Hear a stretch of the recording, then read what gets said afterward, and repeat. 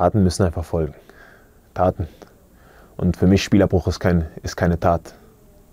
Ist keine Tat. Ja, dann passiert es nächste Woche wieder. Und dann. Das Einfache, worauf ich aufmerksam machen will, ist einfach, wie zum Beispiel es dem Niro Quadro, dem passiert ist, dass Leute einfach, die daneben sind, dass die endlich mal aufstehen und solche Sachen melden.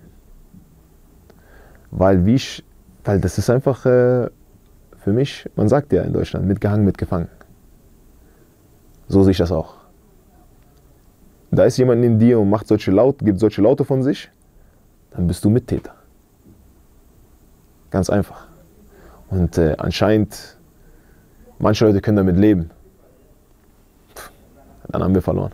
Dass es in Gelsenkirchen passiert ist, äh, ist für mich, äh, ja, ich weiß nicht, was ich dazu sagen soll, also es ist wirklich äh, sprachlos, aber aus Gelsenkirchen ist ja schon mal irgendwas, irgendwas sowas in der Art gekommen. Also von daher, aber man rechnet nicht nochmal mit sowas. Aber von den Verbänden 100 Prozent. Da erwarte ich einfach mehr. Es reicht nicht nur einfach immer welche äh, Banner und alles zu machen. Das reicht alles nicht. Das reicht alles nicht. Denn es passiert einfach zu viel. Und wir sind so weit, es, ist auch, es fängt auch schon an in Deutschland. Auf den Fußballplätzen. Ich rede nicht von außerhalb, Fußballplatz. Ich würde mich mehr freuen, wenn man diese Leute fasst. Dass man, wenn man diese Leute fasst, das, das, damit wäre ich sehr, sehr zufrieden. Damit wäre ich sehr, damit, dann, dann kann ich sagen, okay, gut, das ist schon mal ein guter Schritt. Denn wo ich kleiner war, wir waren alle zusammen. Ob Deutsch, Asiate, Araber, Afrikaner, wir waren alle zusammen. Wir haben alle zusammen Fußball gespielt.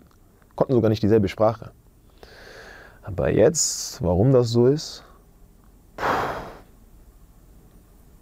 es gibt so manchmal Sachen, die kann man einfach nicht beantworten. Und das ist so eine Sache, die, man nicht, die ich nicht beantworten kann für mich. Weil ich selbst noch keine Antwort dazu habe.